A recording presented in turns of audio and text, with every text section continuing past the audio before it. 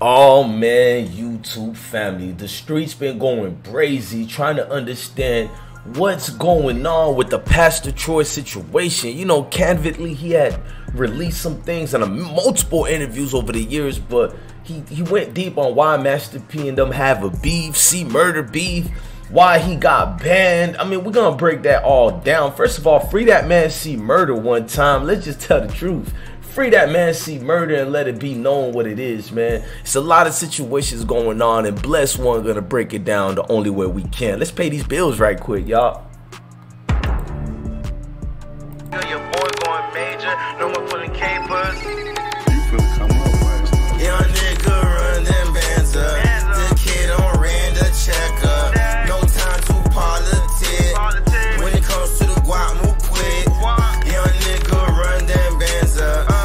Go check out Kidd Outlaw new song Run It Up, the hottest Florida rapper out right now. Go check that out. I'm the man, bruh. Straight from the trenches, my soul's relentless. Now, a lot of people want to know what's going on with the Pastor Troy situation. You guys know he released a lot of situations on his interviews, but I'm going to play some of those so we can get to the get down. What's the real core beef? I so this is all just on wax and, and so forth. Yeah. Until there was a concert in Nashville. Yeah. A concert in Nashville, man. It was called like uh Impact or something like that. I think that was the name of the conference, Impact. It's kind of like Jack the Rapper or something like that. That's the stuff that I know now, but I didn't know then. And I was with uh, Alan Henderson, a former uh, Atlanta Hawks player. They had put out an album, Pastor Troy and the Congregation, with Hindu uh, Hindu Records. So they invite me to the event. They're like, Troy, we want you to come to this music conference. Uh, we got you like 10 grand to come up here for Saturday and Sunday. I'm like, cool. Me and my dog to this event, and it's the biggest thing that I have ever seen in the game. You know what I mean? Performing at the club that night. Everybody knows that Pastor Troy's gonna be at the show or whatever, but I'm performing with the Hindu and the congregation or whatever. We get to that venue that night, man we know the security at the door. I got my dog Lil Pete with me, man. Lil Pete got a pistol with him. Get to the door, security pat us down. We know this dude. He like our neighbor. He like, oh no. Ain't nobody coming through my door with no gun. Hell no. All right, cool. So we upstairs. We upstairs. It's finally about showtime. Everybody in the building. When they go to the stage, the congregation is performing first.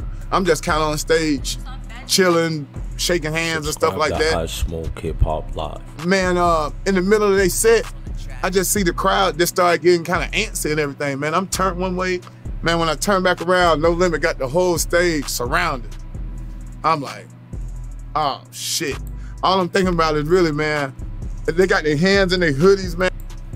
Luckily, the dude uh, from the congregation see them and he break out. When he break out, I didn't, it was so early in the game for me, man. I ain't have posters, I ain't have flyers. People didn't know what I looked like or anything. And they gave chase to one of the congregation members.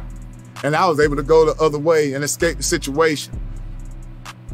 Uh, you know, I always think, I think back on that night, you know what I mean? And embarrassing it was at the time, it'd have been even more embarrassing to kill somebody, man, and end my career 20 years, you know, before it started. Now he gave that candidly with Vlad TV, and what people don't know is there's a lot of inside information to that, and uh, to to see him openly talk about it because a lot of people at the time was like he took a L from Master P and them, but a lot of people was trying to display and make people understand that it wasn't an L. He survived a, a serious situation, beefs with some of the South, you know heaviest hitters. Now, this man went on to do multiple interviews, and on those interviews, he released more info and, and, and detailed on those interviews. Let's go to some of them like B High ATL. Yeah, man. I mean, I have no choice but to think about you versus P. Yeah. And the key word in that is a versus. Can we get Yeah. a versus with a master uh, P and a pastor Troy? Oh boy, we be some fighting motherfuckers, boy. I don't think I want the world to see that shit behind that shit gonna be the shortest damn versus ever. and that motherfucker say one thing, goddamn, I'm going across that goddamn stage. And I know he ready to too, so yeah, I don't think it'll work out. What we if- have to do our shit via satellite from somewhere, man. What did you think about the Jeezy and the Gucci verses? It was amazing, man. I'm just glad. Now, when he said that about the whole thing, you guys got to understand, it's real beefs involved in these situations. Now, he continued to talk about it also on Sway Universe years ago. Yeah, hey yo, this Pastor Troy and them down South Georgia boys. Tell them I said we ready to go to war. Click it. And man, that thing took off like wildfire. That was a real call, though, right? it was not. It was on the real call, man. Oh, we just edited one? in the Oh, studio, okay, okay. man. Man, I believe that was a real call. for real. All right, all right, all right, we weren't that bad. Okay. With no money. Okay, I know, right? He So- had no limit. You had no money. Yeah, All right, man. It was, it. was all good. So how we was doing that thing then, man, for it to Did you ever cross paths with P back then? man, dog, um, I didn't cross him. I didn't cross P. We crossed C murder. Uh-huh. And of course, back then, all those boys young, the rah rah, the roo of everything that was going on in the streets. I'm just glad we ain't hurt each other, man. Man, me You too, me? man. And, Much love, my boy C Murder out there, man. Represent, baby. Come home soon. We out here praying for you, man. That's what's up. That's from Pastor Troy saying that. Man. Yeah. sure. And that's real, man. That's what grown men do. It's just competitive. It's, Yeah. it's, it's no different from what took place yesterday when Kendrick Lamar Yeah. hit, hit this verse off Yeah. and he called out J. Cole and everybody's Yeah. Meek Mill, Drake, and all that. That's kind of Shout out to the way he explained it, and he goes deeper again.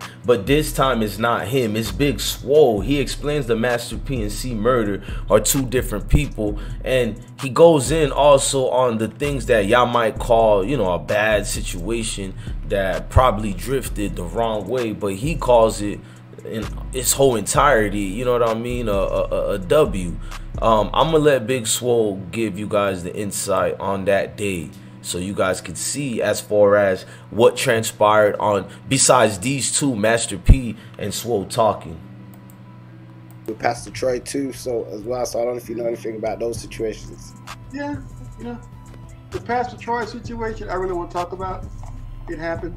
You know, I'm gonna leave it at that. You know, it's not, it's not something I'm proud of. You know, and I, you know, it happened. You know, Is that the one that Pastor Troy spoke about himself, where he said Yeah. one of his boys got ran down on or something? yeah, he, he too. He ran Okay, too. well he left. He yeah. trying to make himself look good, but it is what it is. And um, because I mean, I like Pastor Troy. Pastor Troy, cool dude.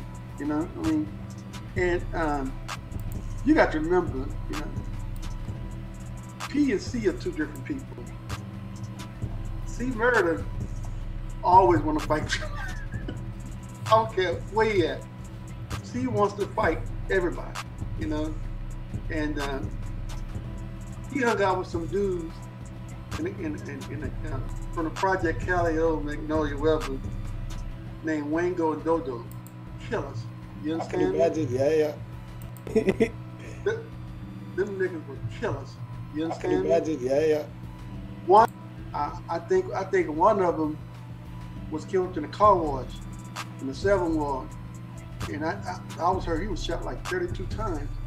That's how bad niggas want him dead. You know, was just killers, man. You know, they was killers. You know, was high killers, and you know, you know, they, they ran with C. now big swole told his explanation of that one let's go to what master p had to say about the whole thing years ago what happened Hold up, and that's the way it's That's supposed to be. shit. You See, was my I'm man. He all he always spoke Man, highly see, of let me tell you something. Always. See, wild, but see, see, see, got a lot of love in his heart. Yes. He got a lot of love in his heart. Y'all don't realize, man, we got a lot of good brothers, but you you got to imagine how it, how it go on the streets. When it get real, it get real.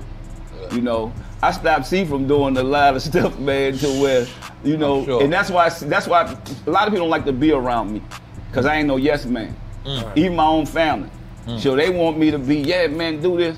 You know, like back in the days, I don't know if you know what this rapper Pastor Troy. Yeah. Yeah, yeah. Pastor Troy, yeah. So remember Uh, Pastor Troy? We I didn't- ready. Yeah. yeah. Okay. So he made that. I don't Yeah. know Pastor. I never met him. Get the fuck out Nah. of here. I, I, Oh once yeah, that I- was supposed to be. The, oh, Yeah, oh yeah. shit! I totally never met him. forgot that. I never okay. met him. But okay. check, check this out. What happened, right? Okay.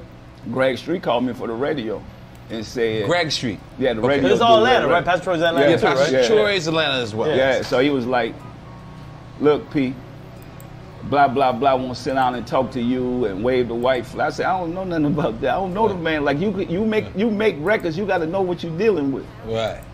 So I just say, he said, what, what could we do about it? I said, just walk on the other side of the street, you see. I'm not looking for you or don't, Right. That ain't me. Right. I'm a man Wow. of God, but just like Wow. two mountains may not meet, but two men will.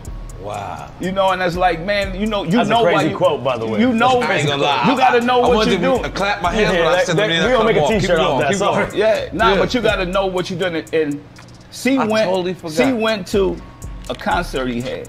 Oh, I already know what it's Oh, about. And it it, it it went bad. I think C probably got the wrong dude. The dude he thought was him. You know what I'm saying? Wow. So, but he was on GOAT, and I said, see, it could have got real. Right. And all the other dudes around from Hot Boy to whoever, I said, they was like, what's up with this dude? I said, man, that dude a rapper. Right. Let him be a rapper.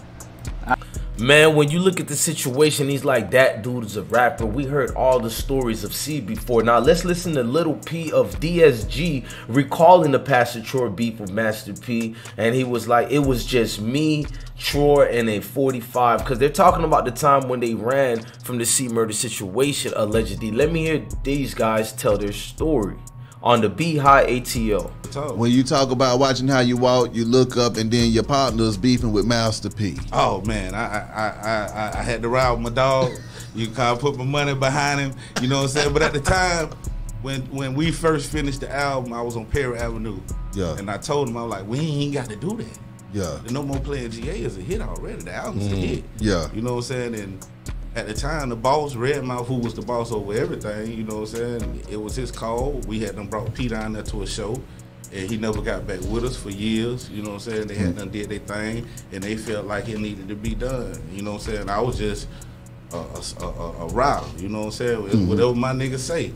I'm 16, 17. If Yeah. he say blast you, I'ma blast you. Yeah. Cause that's who putting the food on the table, and that's how we rock it. Yeah. You know what I'm saying? I mean, how did you feel about the pressure though, man, when you looked up and the beef was getting real and y'all in clubs and you looking up and C murder pop? You know what I'm saying? That one I knew, I was like, boy, we here, boy.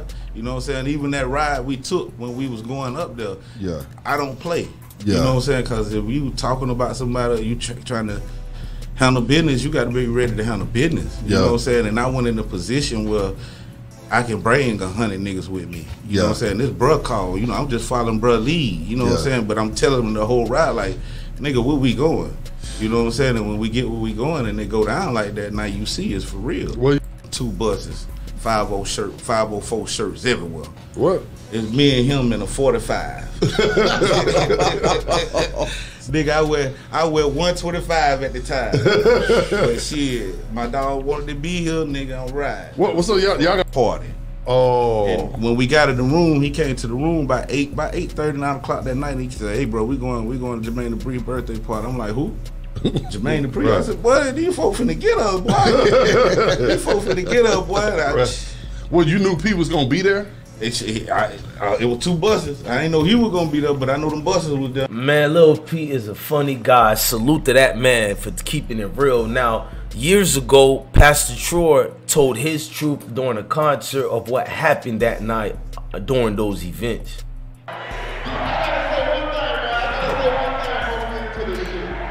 For the good of all people. So check this out. Know about 1998, 99, that we read the shit was acting so stupid. So, we had somebody that took me off birthday bash, man. The year that I was, I was the man in the city. I'm sitting at home disappointed, and I get a phone call, man, from the Dungeon family. The boys said, Troy, man, can't nobody from no other city, man, take you off no show, man. The nigga said, this ATL, man, you gonna perform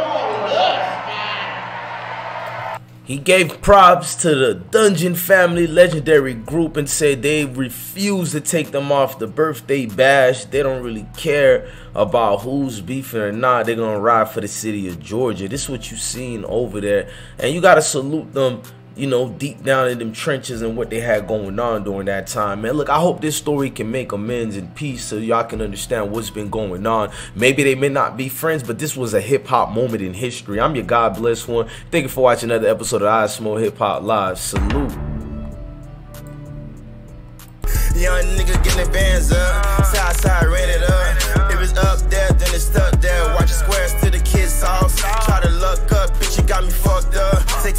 coming from the kid. This how I feed my jizz. My zombies move hella swift. No time to politics. Get a white girl like Taylor Swift.